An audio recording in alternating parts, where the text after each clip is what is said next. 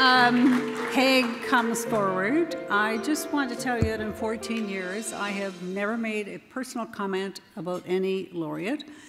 And I want to tell you tonight that Science World celebrated its 30th birthday this week. And yes, I'm known as the founder or co founder, but there would be no Science Center without Haig. He gave up two years of his life to put everything into it.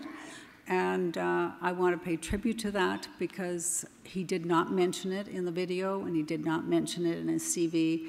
And it is one of the most critical things he did for the province and for myself.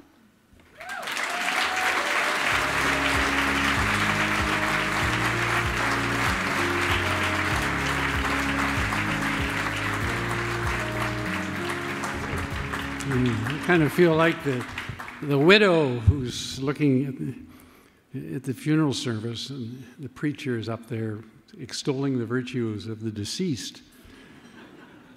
And the widow says to the eldest son, Dear, look in, in the, fu- in the coffin and make sure it's your father they're talking about.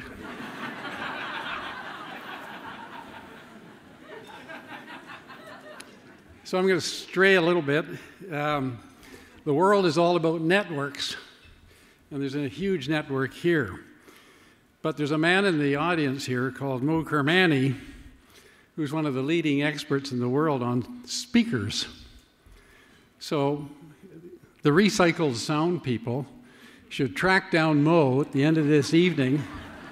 He's a PhD in physics, and he knows all about flat panel speakers and any kind of sound, so they can, he can probably mentor you and help you grow your business.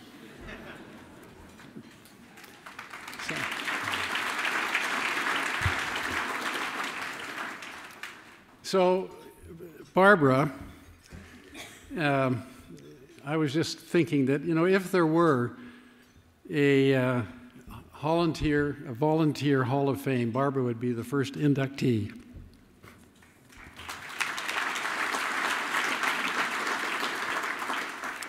In 1968, I left the cozy world of practicing law at Farris and Company to start a new financially oriented business with Mike Brown and Jack Jefferson. My mother was not pleased. From then until she passed away in 2004, she kept saying, Dear, when are you going to get a job? I'm still looking, Mother. I'd like to thank JABC for this recognition because it is particularly meaningful for me as the motivation of this organization is similar to my own, which is to finance and inspire the next generation of technological entrepreneurs. I have a few thank yous to make. Mary, for decades of patience and support. my longtime friend and partner, Mike Brown,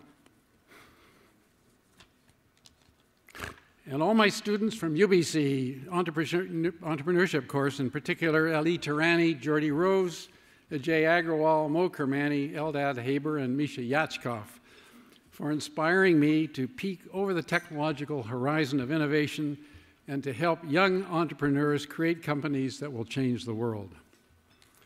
I also like to thank my pals Chen Fong and Jim Dawson because for every time we meet, we all say another 10 years of deals and startups.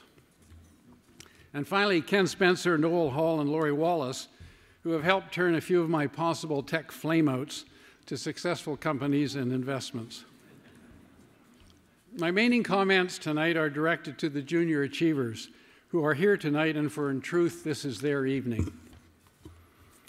The mission of the Junior Achievement Organization is as follows we are empowering young people to own their own economic success. I start with a quote from a crazy inventor that Mike Brown and I once backed. If you can imagine it, it can be built or done. That was the view of a crazy inventor Mike Brown and I financed called Russ Bratowski. He invented a rear projection screen that worked in daylight. We got it built and done and demonstrated the world's first instant replay at a BC Lions football game in the mid 1980s. Sadly, we lost all our money. Some things to think about. and this is for the junior achievers. It is not worth spending your university years and your family savings and your student loans just to get a training for your first job. You want to study things that will last you a lifetime, including history and literature, and get an advanced degree in something. Most new tech startups today are created by those, created by those with PhDs who truly understand the technology they are developing. And all they need is business advice and leadership to make their dreams come true. Learn as much math and physics as you can, because future innovation and job security will be defined by those having expertise in those disciplines. I was very happy to see the young people tonight talk about the importance of STEM uh, for women entrepreneurs because there are many in Vancouver and there's going to be a lot more. Pursue the ideas of the experts of the day that, who say it won't work. Henry Ford stated that if I had asked people what they wanted, they would have said faster horses. King Wuling in 307 BC said, A talent for following the ways of yesterday is not sufficient to improve the world of today. Understand that there are two kinds of people in this world those who see problems and those who see solutions. Both are needed, but the solvers are the ones that change the world. Understand as well that there is no such thing as an overfinanced startup except, except perhaps Uber.